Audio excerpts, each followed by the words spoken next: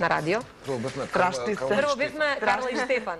Така, моравме да имаме австријски имиња, да имаме австријски концепт.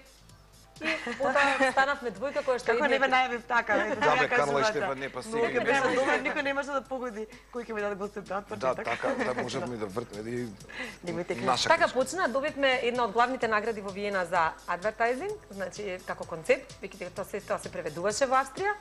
И после тоа одлучивме да бидеме двојка, што ќе наплаќа многу скапо. Добре, Се тоа да. кошта многу. Наш базени, голф Но и да, тенис да, и све тоа. Прво го ис- истражуваме брендот, значи Лук, да, животот. Така, значи си прво во го дознаваме се што е потребно за компанијата, фирмата или за брендот, така наречен, нели? Потоа ги гледаме сите типови на реклами кои што се снимени, значи овој тип на реклами не се снима така случајно. Дојди, напиши текст Да. и влези во Значи имаме креативен тим со кој што се консултираме тука и во матичните земји за кои што работиме. А потоа почнуваме значи да го работиме текстот, па правиме сценарио, па вежбаме, па доаѓа ново, старо, нели како кога се прави Да, некој да, да, да. Па во делови да, одите. Па одиме во делови за да добие некакво финале и тоа што мене најмногу ми се допаѓа на Викса посебно што ниту еден збор потоа не се менува. Да, Сите ми веруваат. Да. Фино, крцкаво, Склопено што треба. како да. што треба. Обично фирмите нели реагираат кога се снима реклама, два пати, три пати, пет пати ги преправат. За овој тип на реклами, значи тие безусловно ни веруваат. Да, да, да, тоа е тоа. Вие само направете го, ние да. ги го губиме. Дали добивате инспирација еден од друг или нешто посебно ви инспирира? Кој ви инспирира поточно?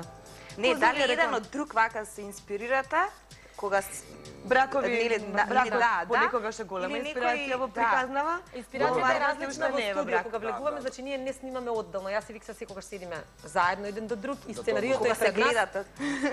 Значи Не. не читаме, сакам да кажам, значи е скечер, значи тоа е драмска, како да речеме на драмска форма на мини мини ја види, филмча. а, Доживувачки, ако не прашувате дали се однапред е смислено, е смислено. Така. А, како верувам дека и она го верува Штефан, Карла и така натаму и верувам дека м, ме осеќа, тоест кога ќе влеземе во студио, тоа трае повеќе сати, ама ама Трае на понекогаш крајот е убав.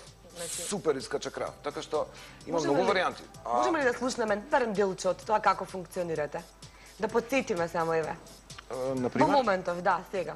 На пример, делче од реклама, како вие заеднички функционирате.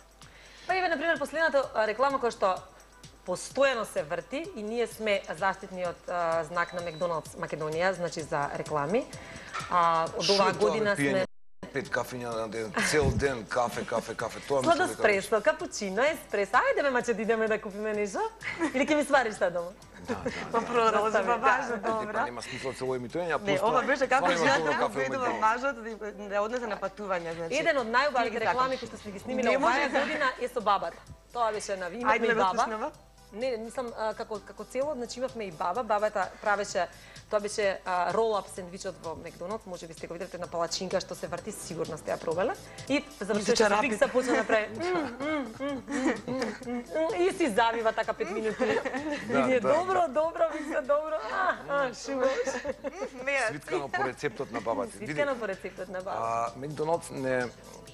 Зашо го споминјаме цело време, бидејќи Затоа што на крај ќе плати кај нас. Не, да. Нема сега ќе ни се прија, да? Мислам дека дека Ја за патување, вие Макдоналдс. би требало не. е, Има неколку брендови со кои сериозно се бавиме со се дружиме и смислуваме реклами и така натаму и ги третираме. И а, мислам дека не дека не може секоја, не дека не може сек, убава приказка да се случи на секого, меѓутоа мислам дека не се погодени и клиентите, сериозно. Да, Сепак се работи да. за скап проект, значи тоа не се едноставни реклами, како што реков, самиот концепт на работа, на, на глума и така натаму. И, користим и надворешни експерти кога станува збор за различни теми, значи сето тоа треба да се одглуми, да се направи, тимот не е баш мал. Експерти, например, за машко-женските односи во бракот. Па не, да. Не бих се жена, не, не знам, но он е доста стручен. Колку Пријателка, ги познава жените вистински? мислам дека ги познам. Исто искрено, мислам исто Мислам, ама не е сигурен што ми се допаѓа. Не, а, Жените не можеш никога да статистики кои што да, види, не се олабавувам дека јас знам се тоа и така Да, да, натаму, тоа не би го Подобро, пошто ќе се шокираш за нова Има. дели после, што ќе правиме? Марга сакам ќе треба да ти да биде. кажам. А, Некои чудни статистики кои што нели уште нема кај нас се уште се пребројува општество, дали се тепаат мажи, жени сериозно и некои такви прашања знаат да не превртат. Искрено, дека нели секое насилство и не се прејавува и може да се подчупне и сопругот и овој. А, ние ги бираме само убавите приказни сериозно во рекламиве. Добро, имаме Пошто има бабата се, Брижит, има например, чудно. ја користевме како тоа беше еден многу убав концепт како Викса оди са бајле у пилјара и до секој утро сретнува една баба која што личи на Брижит Бардо и он пошто ја гледа, она има не знам 5-60 години. Не, баба нема 5-60 години, повеќе и вика леле што е убава ако има кирка, таа пошто е млада 30 години, значи личи на Брижит Бардо како е млади години. И затоа почна да ја носи кеси на женава. Мислам тоа беше Добро, добро, да. Па она има синче, па синчето е модерно, па да, да ти било модерно гей, и натаму не продолжува. И натаму. Се е модерно, Не, се па, е не. дозволено, се е дозволено. Имате ли некоја посебна така реклама што ви е најдрага? Неповторлива. И па ова е кое дете го сакаш поише прашање, Па така? не, него едноставно така, никој што ви Најбрз успех постигнала, најубав може би. впечаток. На, на, за кратко време онака станала бомбастична. А, не изненадила? Па да. Мислам дека за е, рекламата за ролап, за ролапот, значи што беше ова конкретно со бабата, бидејќи таа имаше а, освен што имаше а, таков текст, имаше и тој тип на мимика, малку беше посмела од таа страна, бидејќи не знаевме имавме трет на- да, во рекламата.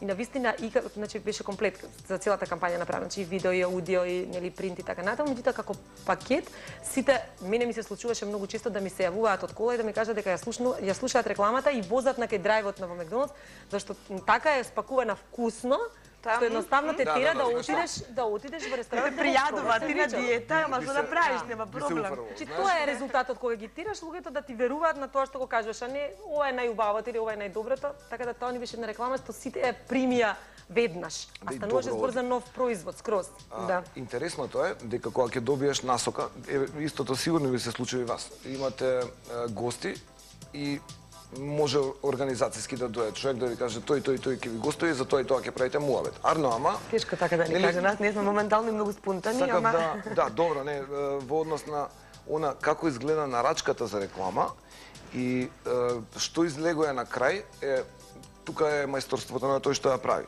Од е, момент, сега не викам дека нас не се паѓаат ностоп тешки реклами.